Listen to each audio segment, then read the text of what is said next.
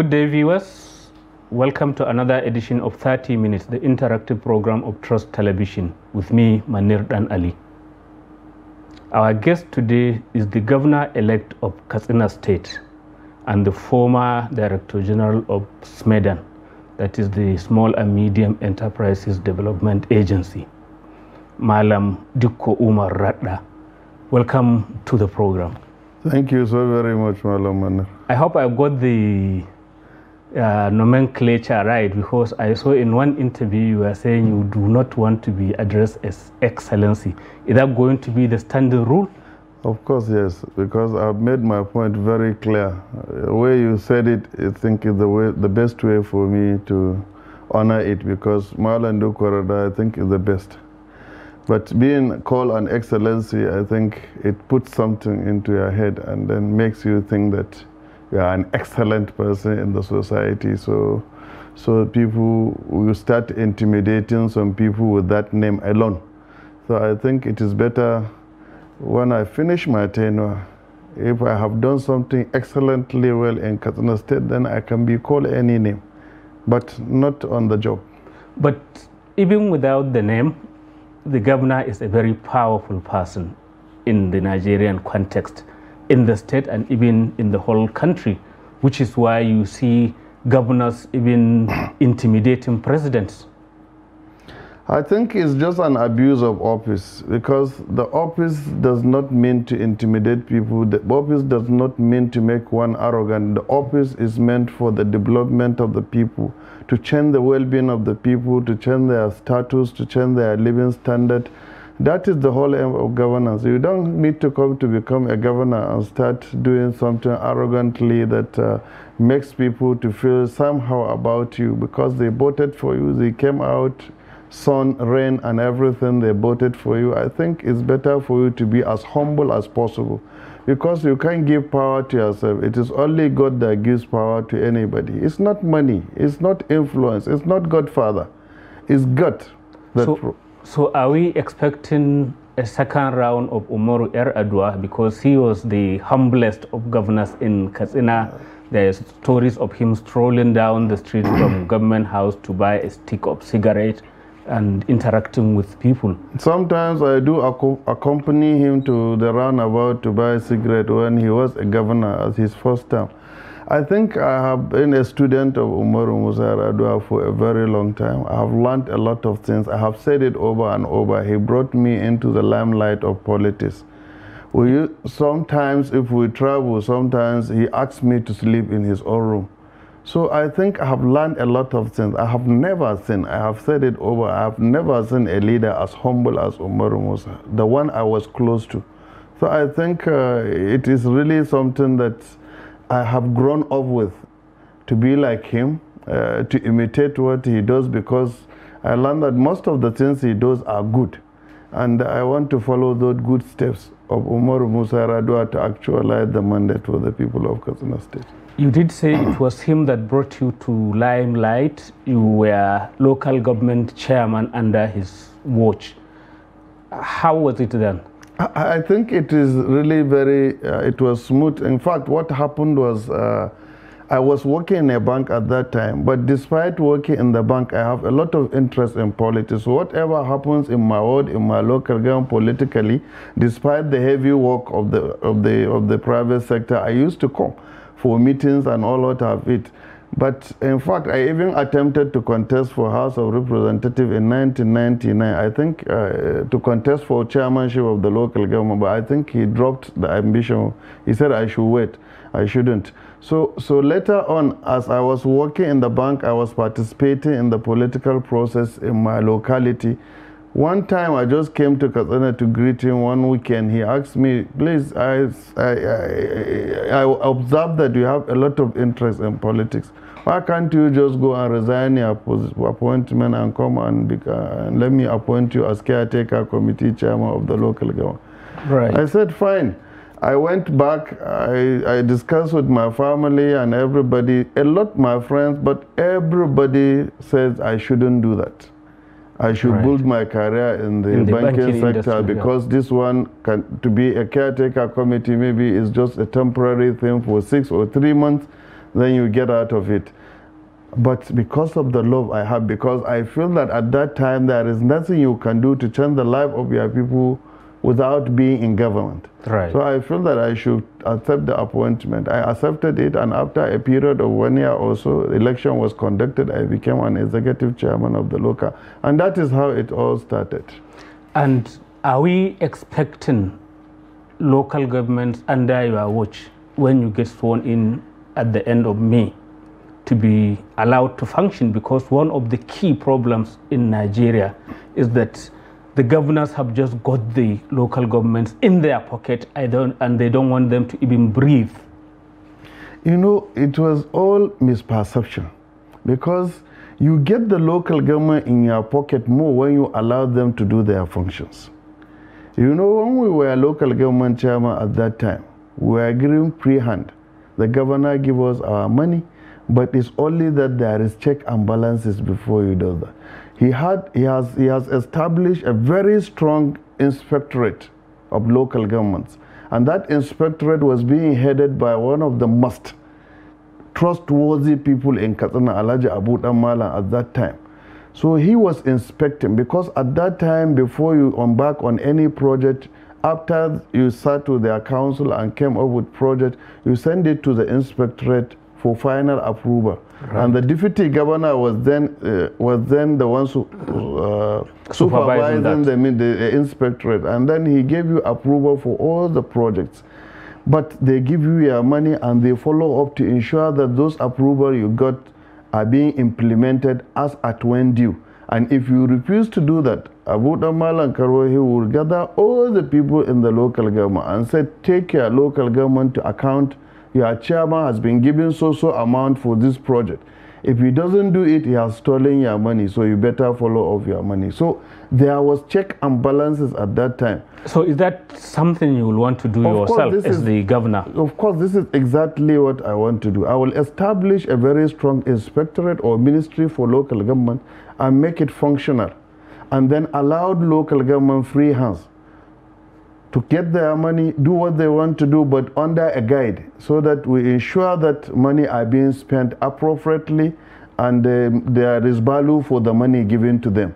You know, if you allow the system just to run like that freely without any intervention or without any inspection or monitoring, you end up uh, seeing a lot of things that you may not want to see.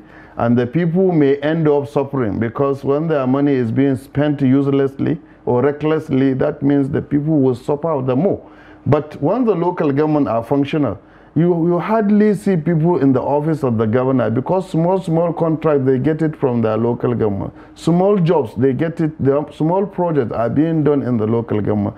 And in some instances, you see a joint project between the state government and the local government, which will be beneficial to the people. And if it is being guided well, because we have gone to 361 wards in the state, we have interacted with the people. The people have told us what they need. Most of those things they needed, it's not something the state government must do. Some of them will ask you for a borehole. Some of them will ask you for on tar road. Some of, you, some of them will ask you for a dispensary or a block of primary school. You know, these are things. When I was local government chairman, I even built a secondary school with the local government money.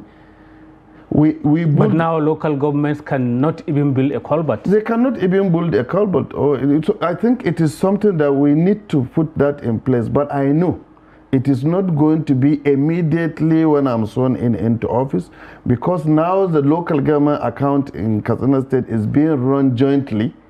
All the money is put in one basket and is being run jointly. What we need to establish is to separate everything because there is no point I have said it over and over. There is no point when I am from Charanch local government. If Charanch local government pays, can pay salary of 30 million and have a reserve of 20 million, I see no reason why, why the people of Charanch cannot utilize that 20 million for the benefit of the, for their development. Uh, but you see some local governments who have overloaded their local government with a lot of staff they couldn't even get anything after they paid salary. In some instances, while I was chief of staff, uh, 2016, in some instances, the local, the state government has to beep about 200 to 300 million to enable the local government pay their salaries. So, but it is just, I think it is just unfair if my money from Dusama local government will be taken to Dusi to settle the debt of Dutsi or to settle some of the problem of people of Dutsi. And they created the problem when they in the created first the place problem for themselves, I think right. what we need to do is separate everything, give local governments their money, and let them pay their salary. If they reserve anything, it's up to them. But you touch on something that is the unrealistic number of people that are taking salaries from local government. We hear that chairman, I don't know whether it happened even in your own case, their children and even those who are suckling, who are in primary school, are all loaded onto the local government think salary this, bill. This is this is true because, but I think something has been done when we came into power 2006. We screened and we were able to push out some. But I'm not saying that up to now you cannot find such kind of things in the state. But what we want to do, we'll do a very, very, very serious, uh, uh, very, very serious staff audit when we come and so that we ensure that uh, those people that are in the payroll are really giving the services for the local. It is unfortunate. You see somebody receiving lo- uh, salary in the local government, but he has already gotten work at the federal level or some private sector. He was doing double, uh, Taking double salaries salary for work not done. w- work not done. So we need to fish out those things, and also we need to fish out those staffs in the local government who are redundant, doing nothing. Why can't we see how we can train them and utilize them in our primary or secondary school where we don't have enough teachers? But but then these measures wouldn't endear you to the local political establishment that seems to feed on all this, whether it's the concentration of powers at the level of the governor, whether it is all this uh, hanky-panky in terms of salaries going to people who are not working for the local government. So how will you Honest- survive that? Honestly, I don't have anything to fear because God has done everything to me. I don't have a godfather.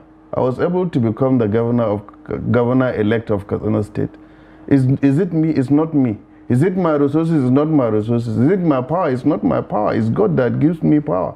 So I think it is a betrayal on God to even not do the right thing for the people of Katsina State. Some people may feel bad, but they don't give power. It's only God that gives power. If I will be able to spend four good years and doing four good and being and doing very good things for the people of Katsina State, I don't have any issue.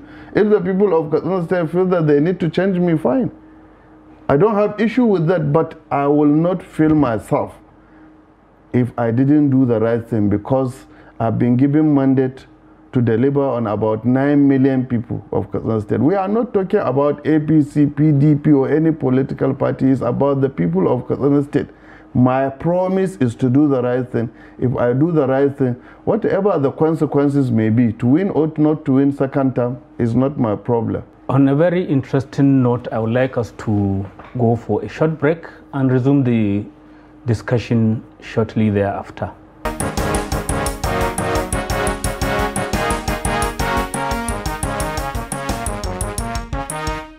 Welcome back. It is still 30 minutes, the interactive program of Trust Television, and our guest today is the Governor elect of Katsina State, Malam Dikko Umar Radda. Just before we went on break, you were claiming not to have any godfather, and many people will think or imagine that the outgoing governor is your godfather, so to say. You are his chief of staff, and probably it was his nod and wink that made you emerge as the candidate of the ruling party and eventually to get elected. Yeah. Are you disowning him? No, I'm not. He has been a very good political mentor, and we have been political friends for a very long time, over almost 20 years. I've stayed with him despite all odds. I have been with him despite all the challenges. I have remained with him. I lost my position because of him. Which of the position While I was the chairman of the local government, Right. I lost it. I couldn't get re-election. I couldn't get opportunity to get re-elected as chairman of the local government because I followed him. That was his That was, then uh, to- earlier attempt to be a governor of Katsina State. Yes, that was 20, 2007. Right. So I think uh, the issue is is not about when everybody that has the clear view of what has happened at the primary election, among the political group of the governor, there were four of us who contested for governorship. All of us were political friends of the governor. There was his SGS, there was his commissioner, there was the MD of the Federal Mortgage Bank that time. He was also one of the stronghold in the family of political politics of the uh, Masari political family. Sadiq Aradua was his chief of staff while he was the speaker and he became a senator under CPC. And the gov deputy governor is his friend. He has been the deputy governor for all these years. Yet you emerged as And I was also among them. So the governor made it clear to all of them. He called for a meeting. He told us that he don't have a candidate. Anybody that emerged among his group, he will be happy with that. And so it be. That was how it goes. And we went, uh, and I was able to, to get the ticket. So on that note, nobody will say that it was the governor who said they should vote for me. In fact, even for the insinuation that is going on within the town, I wasn't the person they were insinuating that the governor wanted to was, was, was supporting chosen. at right. that time. So, but the governor has made his point very clear. He don't have a candidate among us, but he will love somebody from his political family to emerge. And that was what happened. So that was why I'm not saying you are not beholden to any to, particular to any person. particular person. Yes. So, how then will your government be? Are you going to build on what Governor Masari has done, or are you going to have a clear departure as you are hinting? You know, uh, generally, uh, government is a continuation. That you can't totally say that what this government is doing entirely is wrong, especially a government that you were part of. But the issue is, I think even the democracy, that was the main reason why, one of the main reasons that you change government after two terms. You know, when you get elected, they change you after eight years, no matter how good you are. Uh. The reason was they want to bring fresh ideas, fresh people, so that they may think outside the box on some other things that the other government may not have touched, because the government may not touch every aspect of it. So, how are you going to think outside the box in terms of insecurity? Because it's the one key issue that is affecting lots of Katsina citizens. I, I, I, have, I have outlined my strategic policy, and one of the main point I said I will do is I will establish a state security outfit. That, that is your own Amotekun. Yes, I would, I will, I will create my own Amotekun, whatever name we are going to give it in Katsina State. You know, it was so amazing. Sometimes when there is an announcement for recruitment for military or police in Katsina State, you see thousands of youths. They are all coming from those localities and villages. They want to be in the army, they want to be in the police. These are people who have it in their mind that they want to serve their nation. But unfortunately, maybe they are recruiting only 100. So those thousands will go back, not because they are not qualified, not because they are not fit and able, but because they couldn't get a space. They are looking for only 100. So I would look among those categories of people who are living in those localities, especially the frontline local governments. Because we are thinking of using the locals. If you are within the community, it makes you to be more stronger, more courageous, to face the challenges than people who are coming from outside because they are raping their mothers, they are killing their fathers, they will have it in their heart and they also to deal know, with the situation. And they also know the criminally are- minded they people within know the community. criminal- yes, of course. So that is why first we want to use the local intelligence by the use of traditional rulers, opinion leaders within the communities. We'll use the locals to combine them with the military and the police to attack the situation.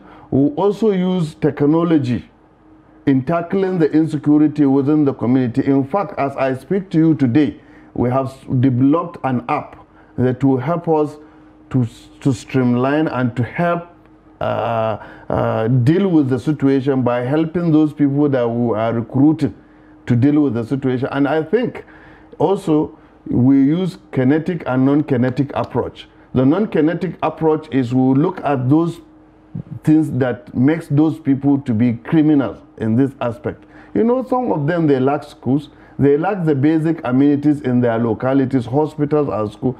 And you know, largely why these people are doing these things is because of the operations they have suffered over years. Those planning people, they have suffered oppression from the police, from the traditional institution, from the courts. And you know, when you suppress that, and also try to provide education to them, both Islamic and then uh, Western. Western education, because it is what build morals into someone. Once someone is is illiterate, you know, he he doesn't think very well because eh, they don't think more than like a human being. They think just like the animals because we are living in a wild world. But the problem is not restricted to Katsina. Even if this deployment, that's the employment of uh, vigilantes or security people at the state level, what do you do with Zamfara? What do you do with Kaduna? What do you do with all the other neighboring states that may not necessarily be doing exactly what you want to do? I think I think we are a bit lucky in this aspect because most of I think all the governors in the northwest are new. All of us, Jigawa, Kano, Katsina, Sokoto, Zamfara, Kebbi, Kaduna, we are all new.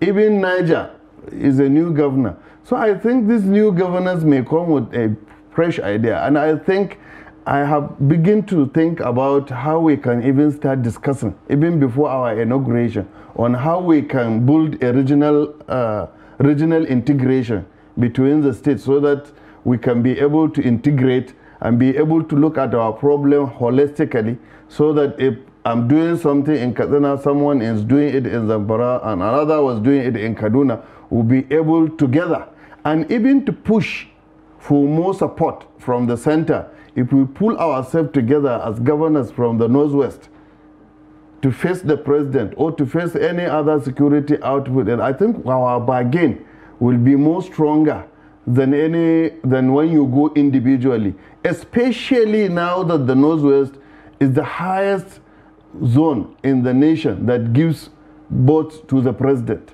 But, but how will it be different because the outgoing president Muhammadu Buhari is from Katsina with Governor Masari in Katsina and all these things happening in Katsina and other northwestern states and they haven't been tackled. How will it be different when the president is even from the other end of the country? no i think it is not about the president where the president comes from it's Because about it's the federal. No, it's about Prerogative. It's about the relationship between the governors within the region. I was part of it because I was part of the people that came with the governor when they started that uh, meeting in the northwest. I was chief of staff to the governor, so wherever he goes, we go together. The problem is there was lack of cooperation between the governors of the region at that time. So we are praying and hopeful that because we are all new, we are fresh with this, we have a lot of fresh ideas. Maybe if we started cooperating right from the onset, we may be able to tackle that problem. But once there is no good cooperation, synergy among the state governors in the region, there is no way, there is no magic you will use. Even if the president is from your own house, to tackle the insecurity because everybody wants to do it. You know, governance is about the people. It's not about the people of Katsina to say that, no, during my administration I was able to stop insecurity. No, it's about collective responsibility for all of us. But there's this big problem of the war economy. That is, people are benefiting from the current state of affairs, from the informers to the security people who are also growing fat on, I mean, the continued uh, insecurity, to even the traditional rulers, some of whom in some states have to be removed. So, is it not much more complicated than you are making it out to be? No, because you know when you look at the the traditional institution, it's because there is no rules, uh, there is no law and order. Because when someone, no matter how high you are, you you you, you are able to found you are found guilty on anything. Why can't we deal with you? What is the problem with that? So everybody should sit up. And when you look at the uh, the other thing you mentioned, when you look at the the war economy, I mean the, the economy, insecurity, the the, way in the way in which the people who are supposed to stop it are already part of, it. Of it. course, they are when, benefiting. when you look at the, uh, the aspect of the community economy, you know what we need to do is that is why I said that when I come in, I will establish small and medium enterprises agency directly working under my office. Because of your we, experience yes, so that we can create more jobs opportunity for our teaming youth. When they are busy, they will not have time to give information to anybody. When they have the means of living, they don't have time to do all those sort of, sort of things because redundancy is one part of it. And when you look at the other aspect you mentioned, there's some security uh, People are involved. are involved Yes. because there is money involved in it. When you look, when you use the locals combined with the conventional security to reduce that aspect to the minimum. Because what I intend to do is whatever I'm giving, it goes directly to the people that are going to benefit from it. You touched on employment. The biggest area that sucks us people employment is agriculture, and Katsina is an agrarian state. What will you do differently apart from maybe subsidizing fertilizer, uh, doing all the usual things which haven't taken us far? I, I think what I need to do, and I have made it very clear, I will go back to the extension s- staff in dealing agri- with the extension. agricultural aspect. Yes, you know in Katsina we have about three extension schools at that time. We had one in Dauda, one in Kahensol, one in Gambu, Daura, Daura, Daura Emirate. If you are able to bring them back and establish the extension services, you know, extension services is a link between research institution to the farmer and back to the government, from government to the research institution to the farmer. Because when you have extension staff, they will be able to fish out what are the problems, what are the problems of the seed, how can we take this problem to the research institution? What are the improvements the research institution can do to the seed? How do you do best farm practices, especially now that we have issue with land tenure? The lands are becoming smaller every time, but what you need to do is best practices. When you have be- best practices, you'll be able to produce more in a small piece of land because largely our farmers are subsistence farmers. Subsistence farmers they have they operate at Yeah, a very at a very small small scale. level, yeah. But our governors and most of the government they prioritize supply of fertilizer as the only means of tackling this problem of agriculture in our society. But you have twofold.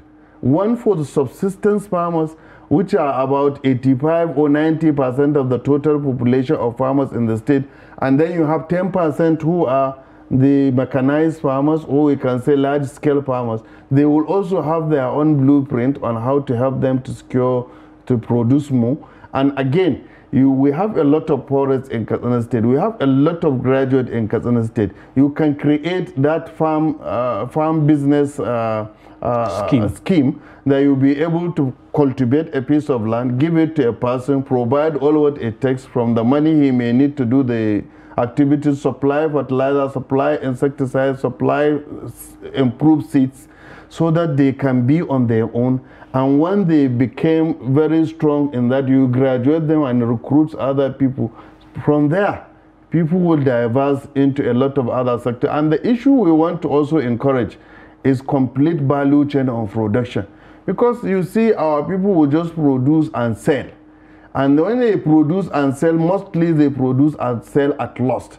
Because if you have added value to what you produce, it could have gone a long way in helping you to earn to more get more. to get more That's a very- and, and economy. And thirdly, we need to also have a whole year round uh, farming because redundancy is as a result of just spending three months in the farm and you have about eight months to spend doing nothing. We have to call it a day for this edition of 30 minutes. Thank Thank you. you very much for coming. Thank you, Alhaji Manir. Thank you. Viewers, that's it. Is the end of this edition of 30 minutes. Keep edit with us.